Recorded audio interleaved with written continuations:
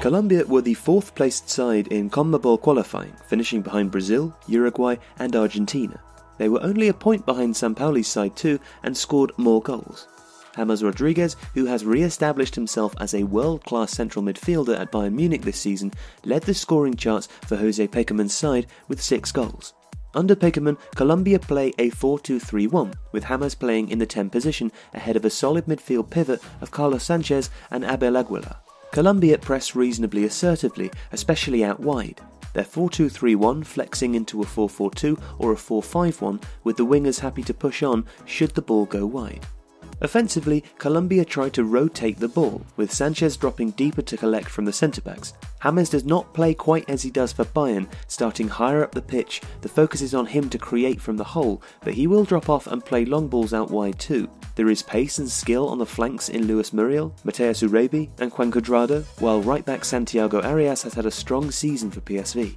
Colombia are strong across the pitch. Captain Radamel Falcao and standing Carlos Bacca are both capable goalscorers, though fitness is always an issue with the former, while young centre-back Davinson Sanchez was outstanding for Tottenham this season. Keep an eye out for the dynamic young Levante and Boca midfielders Jefferson Lerma and Wilmar Barrios, who have impressed in their respective leagues this season and could do so again here if played. Colombia should be strong enough to qualify, but doubts persist over their longer term ambitions. AFC qualifying pitted Japan against Syria and others, including Afghanistan, in the second round's Group E. Japan comfortably won the group, only dropping points in a nil-nil draw at home to Singapore. They then progressed to Russia with a solid performance to top Group B in the third round, taking first ahead of Saudi Arabia and Australia. Pachuca and former AC Milan midfielder Keisuke Honda scored 7 in qualifying, and Shinji Kagawa netted 6. Manager Akira Nishino won titles with Gamba Osaka, including the AFC Champions League, and coached Japan at the 1996 Olympics to wins over Brazil and Hungary. Nishino sets up Japan as a 4 2 3 1 or a 4 3 3, with Makoto Hasebe anchoring. Japan press and look to counter through quick interchanges once they've won the ball. Hasebe, consistently impressive at centre back or defensive midfielder for Eintracht Frankfurt this season, is partnered by Cerezo Osaka's Hotaru Yamaguchi. Gaku Shibasaki of Getafe may also start, though much will depend on whether Japan choose the solidity of this option or Shinji Kagawa's creativity. Kagawa is a key man despite being out of favour with Nishino's predecessor, and his ability to feed the wide men, Keisuke Honda and Genki Haraguchi, could be key, as Japan can struggle against compact teams. Honda especially will drift in from the flanks and is a real threat. Japan can otherwise find it tricky to score, Shinji Okazaki is vastly experienced, but works best in tandem. None of the other options have totally convinced, but Japan are technical, well organised, and quick. The group is tough though, any team could beat any other, and Japan's fate will hang on their ability to defend well, which isn't their strongest suit. Poland topped Group E of UEFA's qualifying section and Robert Lewandowski scored 16 goals, the joint highest in World Cup qualifying overall as his side came through a tough group, losing only to Denmark in Copenhagen and drawing with Kazakhstan in Astana. Poland's next best goalscorer was Hull City's Kamil Grosicki with three. Lewandowski, who was once again the Bundesliga's top scorer, netted almost 60% of Poland's goals. Poland went through qualifying with Adam Nawalka playing a fairly straightforward counter attacking 4 2 3 1. In the friendlies in March, though, he experimented with a 3 4 3, using a midfield pivot of one holder in Krzysztof Maczynski or Grzegorz Krychowiak, alongside playmaker Karol Linetty, who is no slouch defensively either. Lukasz Piszczek played at right centre back, not his normal right fullback, with wing backs ahead.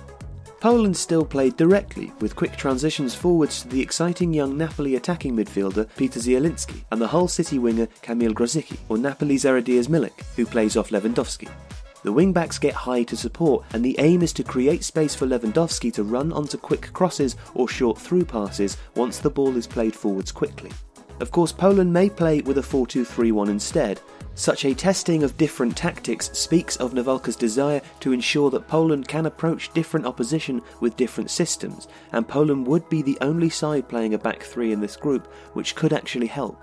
With Lewandowski always potent, the steel of Kamil Glik at the back, and the excellent Wojciech Szczesny in goal, Poland are a strong side. They will expect to progress, but will not underestimate Senegal or Japan.